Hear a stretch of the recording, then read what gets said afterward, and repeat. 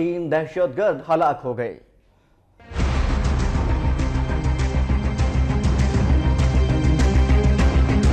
ایک برکے میں جیسے کوئی ایک خاتون ہوتی ہے اس نے فوراً بتایا کہ میرا نام اویس شاہ ہے اور میں چیف جسٹس سندھ کا بیٹا ہوں اور مجھے یہ اغوا کر کے لے کر جا رہے تھے۔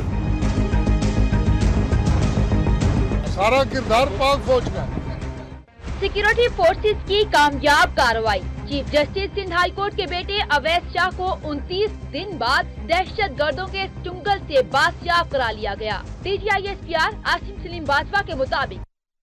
خفیہ اطلاع پر دو سے ڈھائی بجے کے قریب ڈی آئی خان سے ٹانگ کے راستے پر آپریشن کیا گیا۔ ملٹری آپریشن کے نتیجے میں اویس شاہ کی بازیابی عمل میں آئی۔ D G I S R کے مطابق ان کے پاس تین دن سے ٹیکنیکل ثبوت تھے۔ ٹانگ کے قریب مفتی محمود چوک کے پاس تین چیک پوسٹیں قائم کی گئی نیلے رنگ کی کار کو چیک پوسٹ کے قریب روکنے کی کوشش کی گئی تو ڈرائیور نے گاڑی فٹ پاتھ پر چڑھا دی۔ فوجی سنائپر نے گاڑی کے ڈرائیور کو نشانہ بنایا، جس سے وہ ہلاک ہو گیا، جبکہ دو دہشت گرد بھاگنے کی کوشش کے دوران مارے گئے۔ دہشت گرد اویس شاہ کو جنوبی وزیرستان کے راستے افغانستان منتقل کرنا چاہتے تھے۔ گن مین نے سیدھا اس کا شاٹ لیا اور ڈرائیور کو موقع کے اوپر اس نے مار دیا، جس کی وجہ سے گاڑی لڑکھڑائی اور رک گئی۔ اور اس کے بعد دو دہشت گرد دونوں پچھلے دروازوں سے نکلے اور انہوں نے بھاگنے کی کوشش کی فائرنگ کرتے ہوئے۔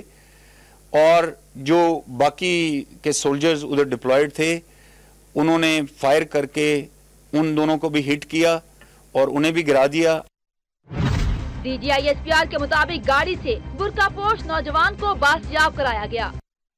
برقع پوش سے شناخت کے لیے بار بار پوچھا گیا، جس پر اس نے بتایا کہ وہ chief justice Sindh high court کے بیٹے اویس شاہ ہیں۔ بازیابی کے وقت اویس شاہ کے ہاتھ پاؤں بندے ہوئے تھے اور ان کے منہ پر ٹیپ لگی ہوئی تھی۔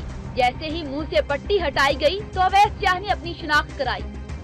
تو گاڑی میں ایک برکے میں جیسے کوئی ایک خاتون ہوتی ہے، وہ ادھر ان کو نظر آئی اور انہوں نے جب ان سے پوچھا، ان سے بار بار جب انسسٹ کیا کہ وہ اپنی شناخت بتائیں، تو کوئی آواز نہیں آئی، تو پھر نقاب اٹھا کے جب دیکھا تو اس کے منہ کے اوپر ٹیپ لگی ہوئی تھی اور جو ہی ٹیپ اتاری تو اس نے فوراً بتایا کہ میرا نام اویس شاہ ہے اور میں چیف جسٹس سندھ کا بیٹا ہوں اور مجھے یہ اغوا کر کے لے کر جا رہے تھے۔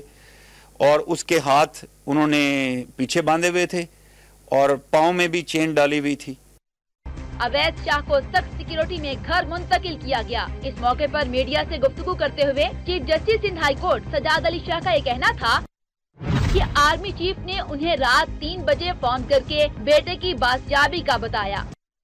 بازیابی میں سارا کردار پاک فوج کا ہے۔ جنرل راہل شریف نے معاملے کی خود نگرانی کی۔ اویس شاہ ایڈوکیٹ کو بیس جون کو کراچی کے علاقے کلفٹن میں واقع ایک سپر سٹور کے باہر سے اغوا کیا گیا تھا، جس کے بعد قانون نافذ کرنے والے ادارے حرکت میں آئے اور انتیس دن کی کوششوں کے بعد اویس شاہ کو بازیاب کرایا گیا۔ دہشت گرد اویس شاہ کو افغانستان لے جانا چاہتے تھے، تاہم پاک